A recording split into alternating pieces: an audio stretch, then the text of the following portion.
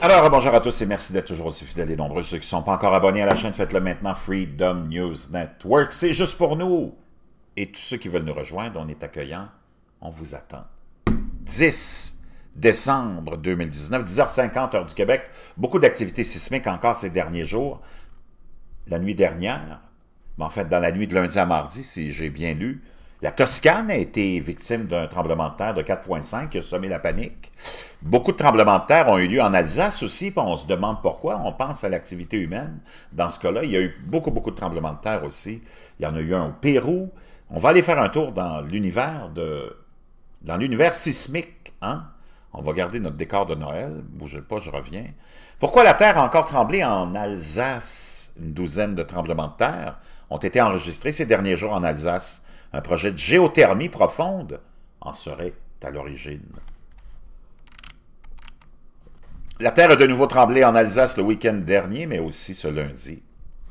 Une douzaine de tremblements de terre au total ont été enregistrés entre le 6 et le 9 décembre à proximité de Strasbourg.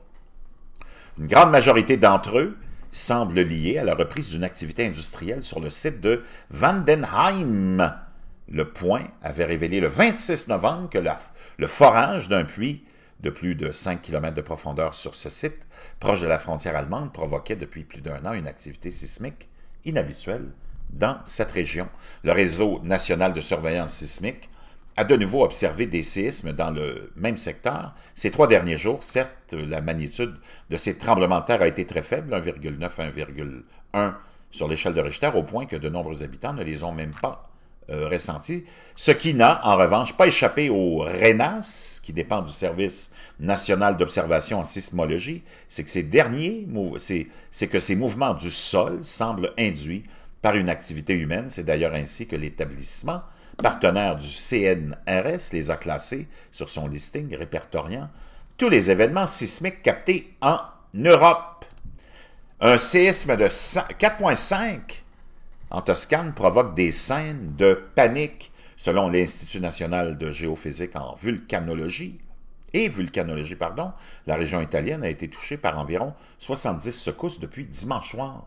La plus puissante a atteint une magnitude de 4,5 et s'est produite à 4h37 dans la nuit. En Italie, hein, un séisme de magnitude 4,5 a touché euh, dans la nuit de dimanche à lundi la zone de Mugello, en Toscane, non loin de Florence, sans faire de victimes, mais provoquant la panique de la population dans les rues, selon l'Institut national de géophysique.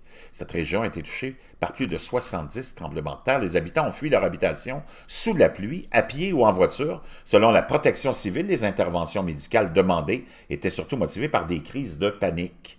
De nombreux résidents de cette zone densément peuplée, environ 64 000 habitants, ont fui leur habitation sous la pluie à pied ou en voiture. Donc, été vraiment la panique. Les peintures tombaient du mur, selon un résident de Barbirino, proche du fameux circuit auto et moto de Mugello, certains, ou Mugello, certains de ses voisins ont paniqué en tentant de sortir de leur bâtiment. Les peintures tombaient des murs, des bibliothèques aussi, les écoles euh, de la région ont été fermées par précaution. La ville a été touchée il y a 100 ans exactement, en 1919, par un tremblement de terre qui avait fait 100 morts. Donc, voyez-vous, intensification, on ne sait jamais, jamais vraiment ce qui nous pend euh, au bout du nez. Et, on a eu aussi hier un tremblement de terre qui a été euh, enregistré. On ne sait pas si...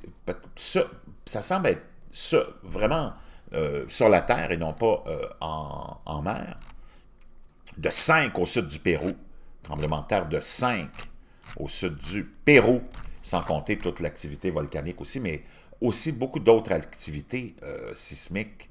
Ça lâche pas et vraiment, on va faire un tour dans la littérature et c'est ça que ça donne. Hein. En grand minimum solaire, intensification de l'activité sismique, et volcanique.